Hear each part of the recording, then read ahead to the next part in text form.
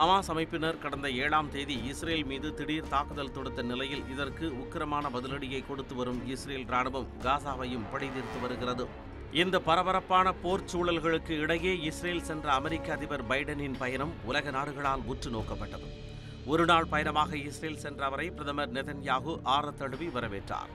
அதைத் தொடர்ந்து Tel Aviv நகரில் இருவரும் கூட்டாக செய்தியாளர்களை சந்தித்தனர்.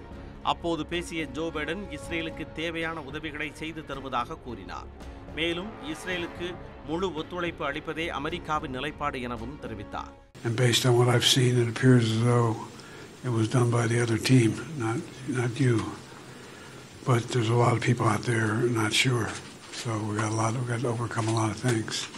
ISIS பாதையை ஹமாஸ் பின்பற்றுவதாக விமர்சித்த ஜோ பைடன் ஹமாஸ் அனைத்து பாலஸ்தீனிய மக்களையும் பிரதிநிதித்துவப்படுத்தவில்லை என்றார். இஸ்ரேலியர்களின் துணிச்சல் அர்ப்பணிப்பு வியக்க வைப்பதாக கூறிய அவர் ஹமாஸ் தாக்குதலில் முப்பத்தோரு அமெரிக்கர்கள் உட்பட இஸ்ரேலைச் சேர்ந்த ஆயிரத்து ஐநூறுக்கும் அதிகமானோர் உயிரிழந்ததாகவும் பைடன் தெரிவித்தார். மேலும் போரின் போது ஹமாஸ் அமைப்பால் இருபது மணி நேரம் கணவருடன் பணைய கைதியாக பிடித்து வைக்கப்பட்டு வீட்டில் சிக்கித் தவித்த பெண்ணையும் பைடன் நேரில் சந்தித்து பேசினார்.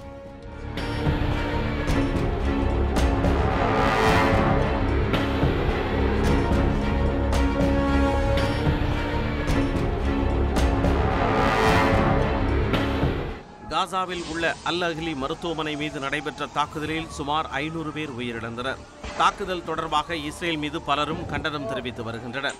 இந்நிலையில் ஜோ பைடன் கருத்து இஸ்ரேலுக்கு வக்காலத்து வாங்கும் வகையில் அமைந்துள்ளதாக தற்பொழுது விமர்சனங்கள் எழுந்துள்ளன.